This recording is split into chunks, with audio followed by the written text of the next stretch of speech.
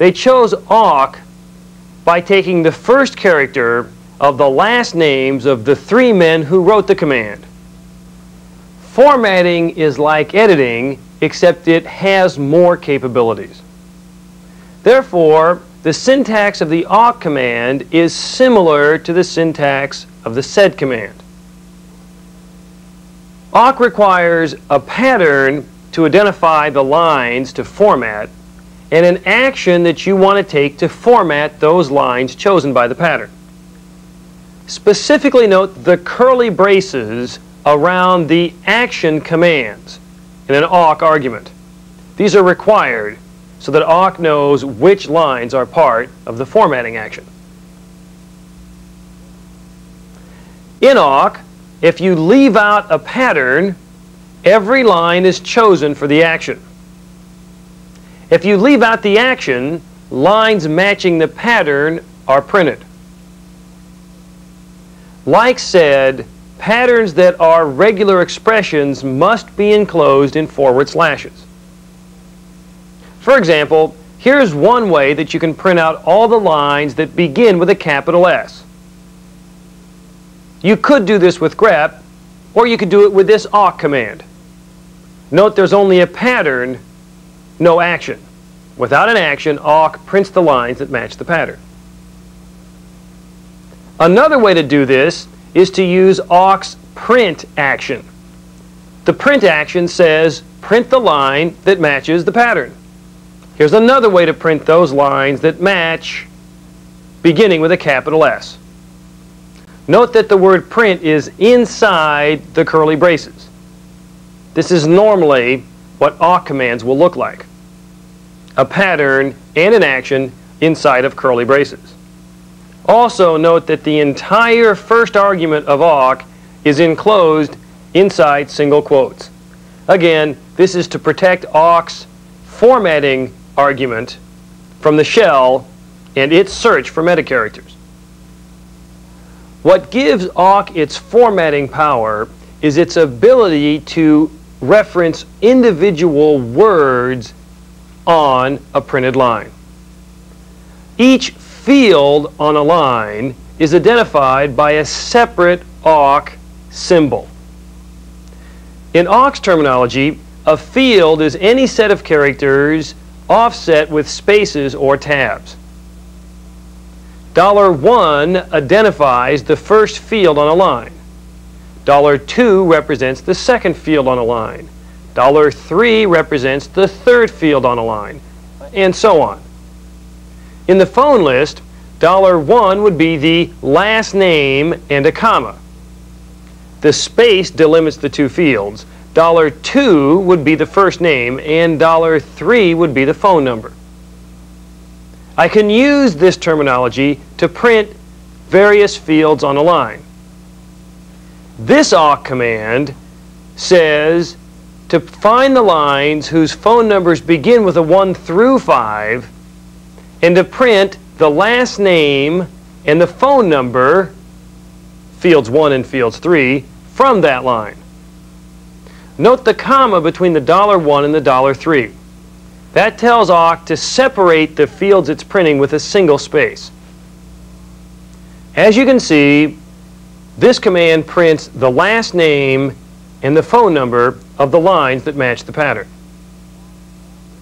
Note how easy it is to change the format of a file using awk. For example, suppose I wish to print the first name followed by the last name, followed by the phone number. That is, I want to shift around fields 1 and 2 on the line. All I have to do is tell awk to print the line in the format $2, $1, and then $3. You see the command line here. However, note when I execute this command that there's no longer a tab between the name and the phone number. That's because awk treats the tab simply as a field separator and throws it away. To insert a tab between the last name and the phone number, I can tell print to insert the fixed character tab there. I do this by enclosing a tab in double quotes as part of my print formatting line. You see how it works here. Note that when I run this command, print displays the first name, then the last name, a tab, and then the phone number. Anything I enclose inside double quotes in a print line is printed as it's listed inside the double quotes.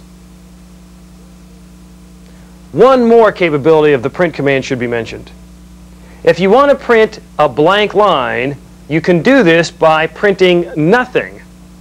That is, by sending the print command an empty set of double quotes. Here's an example of a fairly detailed awk command that prints out the string name and then the first two fields.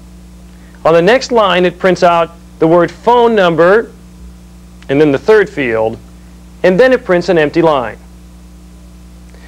This is your first example of a multi-line awk command. Take a close look and notice that the single quotes are at the beginning and end of the entire awk formatting command. That is, all three of these print commands are inside a single set of single quotes.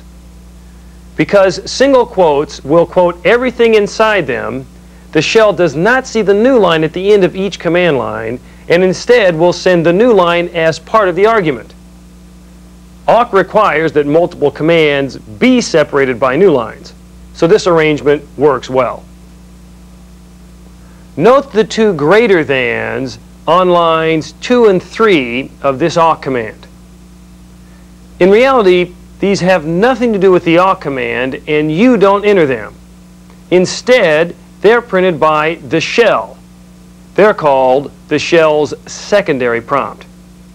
The shell prints its secondary prompt whenever the previous line ended with a quoted new line. It's the shell's way of reminding you that you're still on the previous command line. awk has several advanced formatting features. I'd like to cover two of them here. First, awk reserves the patterns BEGIN and END to represent actions you want performed either before it begins reading data or after it is through reading lines from the file. For example, suppose you want to put out a title on your output. Well, you'd want to put the title out before you begin printing lines. That's the purpose of the begin pattern. This awk command says to put out the title, name, a tab, then phone number before you begin printing lines in the file. When this command is run, it will print out a title and then each line first name, last name, a tab, and then the phone number. Notice that this awk command had two actions. That is, it has two separate lines, each contained inside a separate set of curly braces. This is completely legal, and in fact, you often will do that, especially when you have begin or end patterns as part of your awk program. The second capability I want to refer to is that awk can maintain variables and manipulate them with arithmetic operators, plus, minus, multiply, and divide. This comes in very handy when, for example, you want to add a column of numbers. Let me give you an example of how I use it. I have to keep track of my expenses throughout the year so that I can get reimbursed from my company and the company can report this on their income taxes. I keep a file called expenses.list. Here's what the current one looks like. The format is very specific. It's the date of the expense, a tab, the amount of the expense, a tab, and then a description of what that expense involved. In awk's terminology, I want to add up the second column on every line.